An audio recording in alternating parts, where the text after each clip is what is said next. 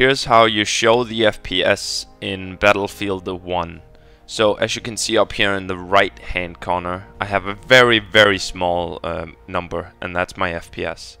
So to do this you gotta press your tilde key and that's the one in the corner of your left hand corner of your keyboard just beside the one and above the tab.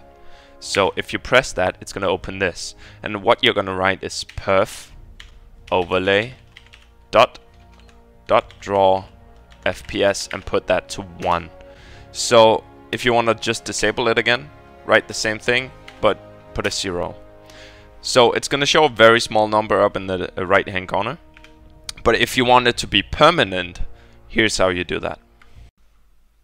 So for your FPS to be permanent in Battlefield 1, you can either install software like uh, NVIDIA Shadowplay that can show the FPS. You can also install Fraps, MSI Afterburner. There's plenty of software that can do it. Or you could do this.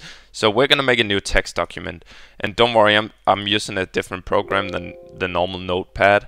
So um, I'm just going to, you know, use this, but notepad is fine. So write perf overlay dot draw fps 1 and then you gotta save it and then to my desktop and you got you have to click all files all types alright? And then write user.cfg so that's a config file. And once we save it we have it right here.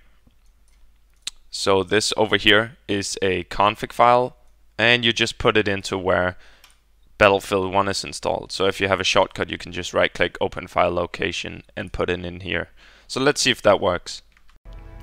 So as you can see here, already before I'm in the main screen, up in the right hand corner I have my FPS. So it's now permanent because I have that file. If you don't want it there anymore, you can just delete the file again and that'll be fine.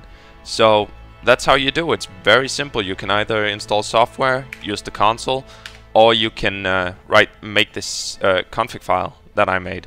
So good luck, have fun.